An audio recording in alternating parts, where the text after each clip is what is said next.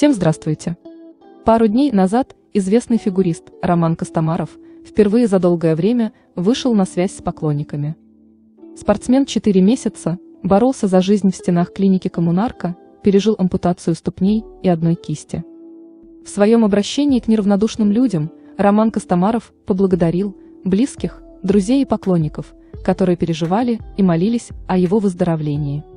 Также Костомаров отдельно выразил признательность врачам, которые вытащили его с того света. Теперь Роману предстоит сложная и долгая реабилитация. Знаменитости надо научиться передвигаться с помощью протезов. Друг и коллега спортсмена, Илья Авербух, смотрит в будущее с оптимизмом, ведь есть примеры, когда люди с протезированием возвращались на лед. Илья уже готов задействовать Романа в своих постановках. Вот только сам фигурист сейчас вряд ли заглядывает так далеко вперед.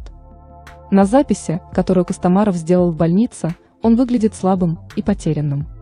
По словам психолога Александра Миллер, спортсмен переживает сильнейший стресс и внутреннюю трансформацию, ведь судьба не оставила ему выбора. Когда жизнь круто меняется, происходит переоценка ориентиров и взглядов, меняется отношение к людям, отметила психолог. Пустой, потухший взгляд Романа Костомарова, говорит эксперт, на данном этапе это нормально.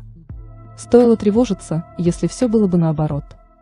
В своем ролике, отмечает специалист, Роман зашифровал послание. На толстовке фигуриста можно заметить надпись «Без комментариев». Это можно расценить как просьбу оставить его в покое, хотя бы на время. По словам Александры, фигурист не сдался, он и далее будет сохранять стойкость. Не стоит ждать от Костомарова слез и нытья, отметил эксперт. Будем надеяться, что совсем скоро Роман запишет обращение к поклонникам с более воодушевленным настроем. Рома, держись. А у нас на этом все. Спасибо, что остаетесь с нами. Берегите себя и своих близких. Подписывайтесь на наш канал. Ставьте лайки, комментируйте. Всем пока!